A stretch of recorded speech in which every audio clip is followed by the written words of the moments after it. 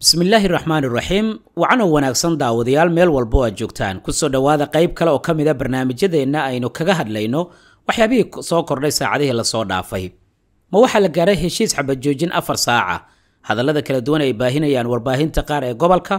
Macluumaadka ku saabsan faransiiska oo doonaya in dhaqaalo lagu taageero reer khaza markaanina muujinaya dabacsanaan dhanka bini'aadanimada ah. Maxaa ka soo baxay kulanka saddex geesoodka ah oo ay yeesheen mas'uuliyiinta ugu sarreeya hay'adaha sirdoon ee maraykanka qatar iyo sidoo kale israa'iil.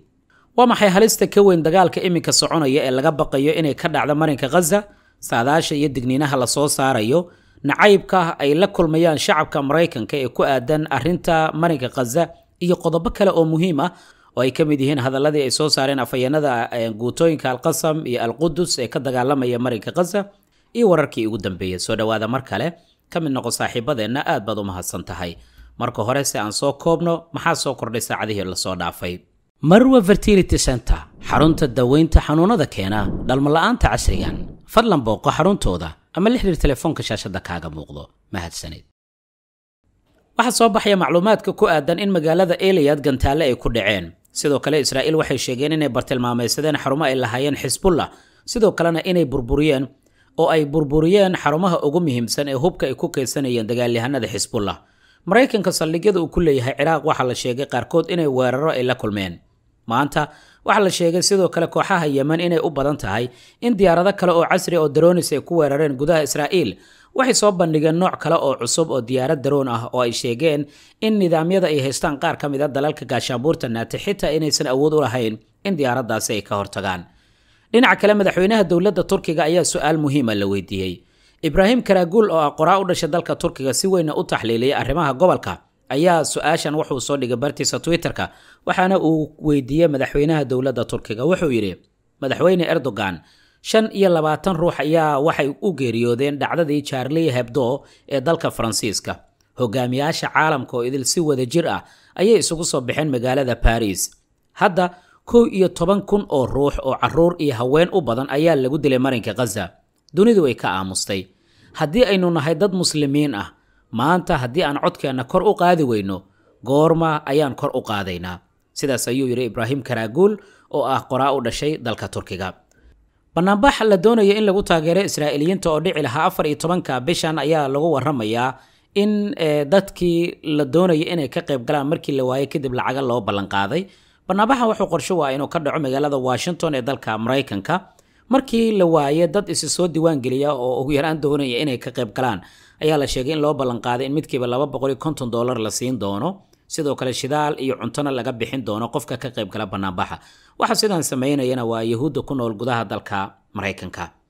Guutada alqudus ayaa shaaca ka qaaday inay diyaara u yihiin inay sii daayaan qaar ka mid a maxaabiis iyaga u xiran afhayeen u hadlay guutadan oo abu xamza lagu magacaabo ayaa shaaca ka qaaday in garabka military islamic jihaad ay ku dhawaaqayaan inay diyaara u yihiin sii deynta laba maxaabiis oo magacyadooda lagu kala sheegay hana katsir iyo yaagil yacquub kuwaasoo hadda u xiran sida ay sheegeen dagaalyahanada guutada alqudus oo ka mid ah garabka islamic jihaad muuqaal uu ka soo muuqday afhayeenka ayaa sidaasi uu ku sheegay waxaana uu caddeeyey haddii heshiis la gaaro diyaar inay u yihiin sii deynta maxaabiisan dhinaca kale warbaahinta ayaa si weyn u hadal haysa hadal ka soo yeeray john kirby oo ah afhayeen u hadlay golaha amniga qaranka ee maraykanka.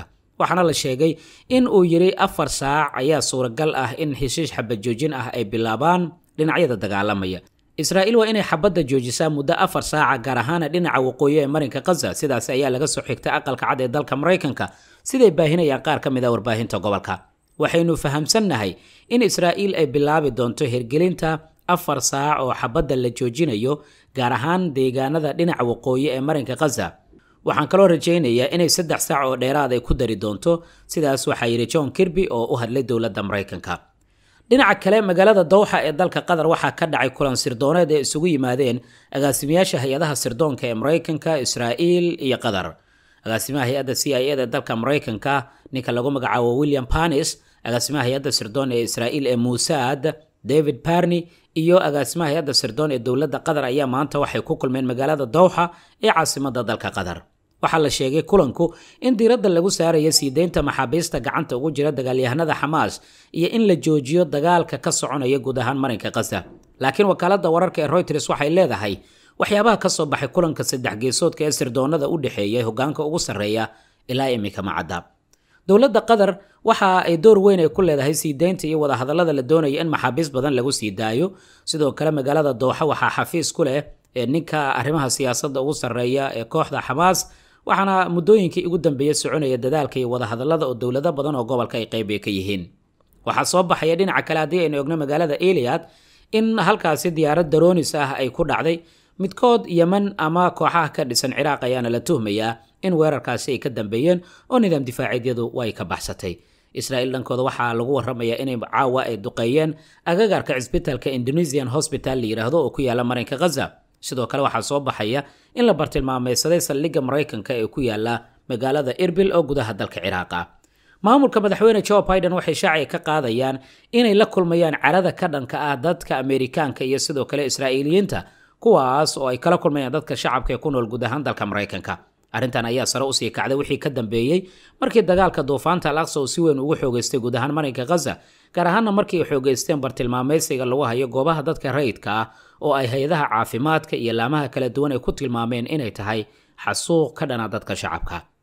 Faransiisku waxa uu dalbanayaa in ka badan hal bilyan oo yuuro in la iska soo aruuriyo oo gargaar ahaan loo gaarsiiyo shacabka ku nool marinka ghaza afhayeen u hadashay wasaaradda arrimaha dibadda ee dowladda faransiiska ayaa sidaa u sheegtay telefishinka aljaziira laakiin faransiiska ayaa bilowgii dagaalka u muuqanaya inuu garabstaag xoogan u muujinayo israa'iil laakiin hadda waxay leeyihiin waxaan diiradda saari doonaa gargaarka bini'aadanimo ee loo baahan yahay marka la eego xaaladda guud ahaan ee gobolka.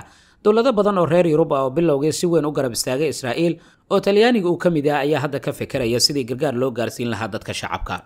Dhinaca kale waa maxay halista laga digayo ee marinka ghaza ka dhici karaysa ee laga baqayo inay ka saameyn badato dagaalka iminka soconaya. Saadaalayaashii khubarada dhinaca dhulgariirada ayaa shaaca ka qaadaya suuragalnimada in dhulgariir xoogan uu ka dhaco marinka ghaza halkaasoo dhiig badan uu ku daatay.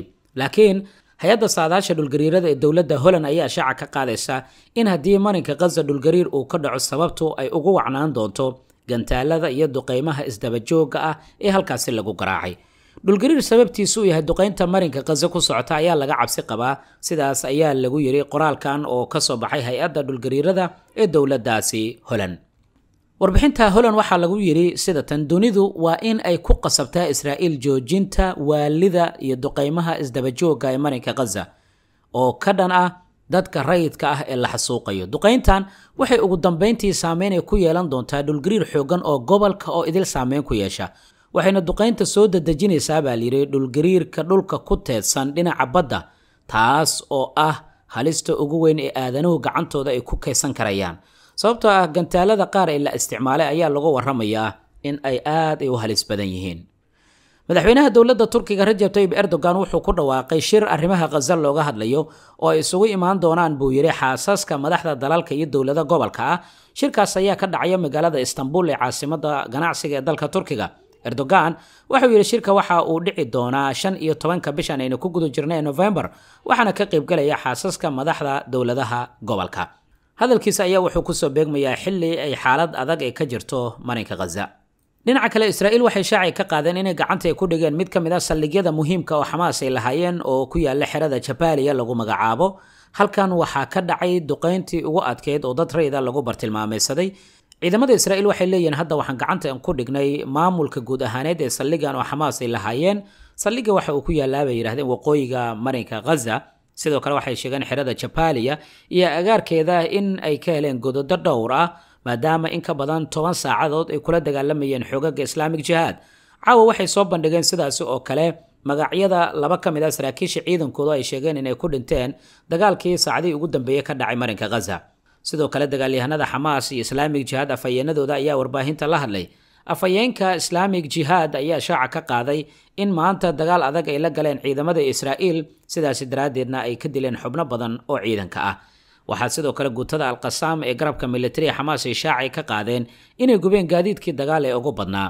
Alqasaam waxay hore u shaaciyeen in ku dhowaad boqol iyo soddon iyo lix taangi oo ciidamada israa'iil ay lahaayeen ay gubeen tan iyo markii dagaalka uu bilowday dhinaca kale amiirka dowladda qatar ayaa telefoonka waxa uu kula hadlay madaxweynaha dowladda sultanka imaaraadka carabta arrimo dhowr oo gobolka ku saabsan gaar ahaan xaaladda falastiin ayaa la sheegay inay ka wada hadleen. Dhinaca kale waxaa soo baxaya macluumaad ku saabsan in shacabka dalka norway ay muujiyeen siday kaga xun yihiin xasuuqa ka soconaya marinka khaza tarayn ay doonayeen dadkan inay raacaan ayaa inta ay ka soo degeen dhulka ay wada jiifteen midabkii casaanka ahaa ama dhiigga ahaana iswadamariyeen ayaa waxay yidhaahdeen waxaynu tan ku muujinaynaa xasuuqa dadka shacabka ah ee lagu bartilmaameysanayo marinka khaza macluumaadyadaas ayaa ugu waaweyn guud ahaan dagaalka waxyaabaha ka soo kordha barnaamijyadeena kale ayaan kugula wadaagi doonaa insha allah